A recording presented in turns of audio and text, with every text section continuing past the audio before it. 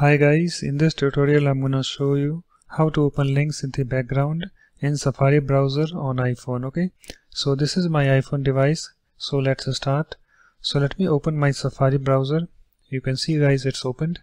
And I have this web page opened in this Safari browser okay? So here I have this link. So if I tap and hold on this link you can see I have this pop-up menu.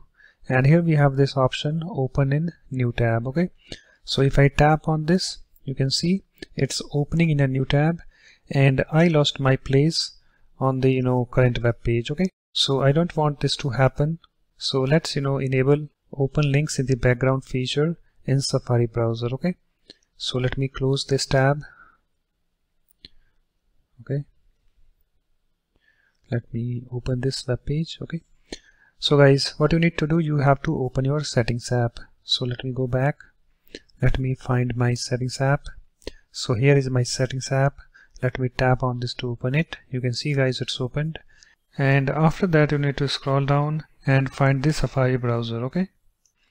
So here is the Safari. So just tap on this to open it. You can see guys it's opened. And after that you need to scroll down and go to this tabs menu. And here we have this option open links. You can see currently it is set to in new tab so just tap on this open links okay? And here we have you know this open links screen opened. You can see this option is selected in new tab. So you have to select this option in background. So just tap on this in background. You can see this option is now selected. And after that you can close your settings app. So let me close this okay? So let me open my Safari browser. You can see it's opened and I have this web page opened okay so I need to go to this link and tap and hold on this. So let me tap and hold on this link. You can see guys I have this pop-up menu.